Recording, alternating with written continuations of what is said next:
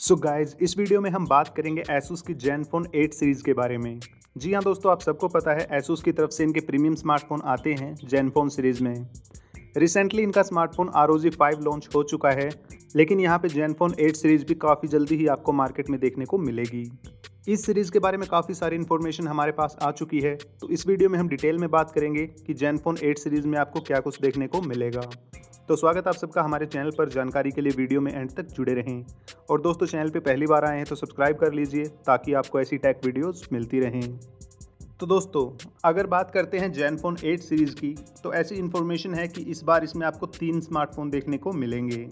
इसमें एक normal ZenFone 8 होगा, एक इसका प्रो वेरिएंट होगा, और एक मिनी स्मार्टफ़ोन भी यहाँ पे आएगा, जो कि थोड़े कॉम्पैक्ट साइज़ का होगा। इनके बारे में काफ़ी सारी डिटेल हमारे सामने आ चुकी है। तो चलिए बात करते हैं कि क्या कुछ नया आपको जेनफोन 8 सीरीज़ में मिलेगा। इसमें सबसे पहले दोस्तों बात करते हैं इनके प्रोसेसर के बारे में। आप ये कंफर्म मान सकते हैं कि तीनों ही स्मार्टफ़ोन में यहाँ पे आपको स्नैपड्रैगन 888 चिपसेट दिया जाएगा। जी हाँ दोस्तों, यहाँ पे फ्लैगशिप परफॉर्मेंस आपको तीनों स्मार्टफ़ोन में मिलेगी और स्नैपड्रैगन 888 चिपसेट के साथ में ही ये आने वाले हैं। इसके अलावा यहाँ पे आपको 5G कनेक्टिविटी भी तीनों स्मार्टफ़ोन में देखने को मिल जाएगी और यहाँ पे सिक्स जी से लेकर ट्वेल्व जी तक के रैम वेरिएंट इन स्मार्टफोन्स में आएँगे। तो अगर परफॉर्मेंस की बात करते हैं तो यहाँ पे आपको कोई कॉम्प्रोमाइज़ नहीं करना पड़ेगा। तीनों ही स्मार्टफ़ोन में स्नैपड्रैगन 888 चिपसेट दिया गया है। नेक्स्ट यहाँ पे बात करते हैं इनकी डिस्प्ले के बारे में। तो जो इनका कॉम्पैक्ट स्मार्टफ़ोन होगा जैनफोन 8 सीरीज़ में, वहाँ पे आपको 5.9 इंच की एक ओलेट डिस्प्ले देखने को मिलेगी। ये काफ़ी अच्छी बात है दोस्तों कि आपको एक छोटा ऑप्शन देखने को मिलेगा, अगर आपको बड़े साइज़ के डिस्प्ले पसंद नहीं हैं।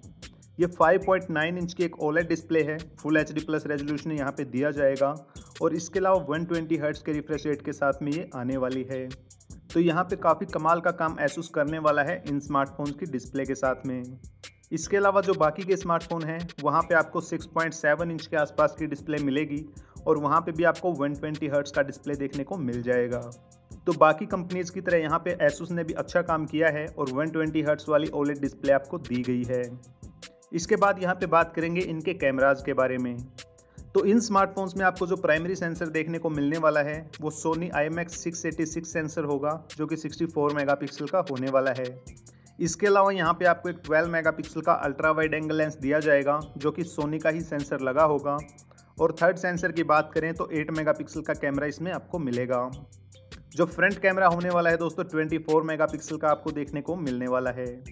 अगर कुछ एडिशनल इन्फॉर्मेशन की बात करते हैं तो एक मॉडल यहाँ पे आपको फ्लिप डिज़ाइन के साथ में भी दिया जाएगा। जी हाँ दोस्तों, दो स्मार्टफोन्स में यहाँ पे आपको फ्रंट कैमरा मिलने वाला है, जबकि एक स्मार्टफ़ोन ऐसा है, जिसमें कोई फ्रंट कैमरा नहीं होगा। तो इसका मतलब ये है कि फ्लिप डिज़ाइन के साथ में यहाँ पे आपको एक स्मार्टफ़ोन मिलेगा, जैसे आपको जैनफोन के प्रीवियस स्मार्टफोन्स में भी मिला था। तो आप बैक कैमरा को ही फ्लिप डिज़ाइन से फ्रंट कैमरा की तरह यूज़ कर पाएँगे, जो कि काफ़ी सारे कस्टमर्स को काफ़ी ज़्यादा पसंद आता है। इसके अलावा दोस्तों, यहाँ पे बैटरी वगैरह में भी आपको इम्प्रूवमेंट देखने को मिलेंगे।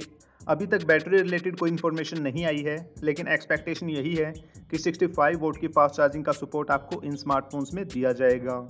इसके अलावा इन डिस्प्ले फिंगरप्रिंट स्कैनर का सपोर्ट आपको यहाँ पे मिलेगा। ब्लूटूथ 5.2 का सपोर्ट भी आपको इस सीरीज़ में देखने को मिल जाएगा।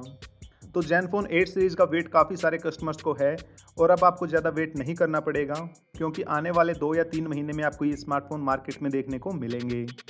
हालाँकि जैनफोन 7 सीरीज़ इंडिया में लॉन्च नहीं हुई थी जैनफोन 6 सीरीज़ के स्मार्टफ़ोन इंडिया में आए थे।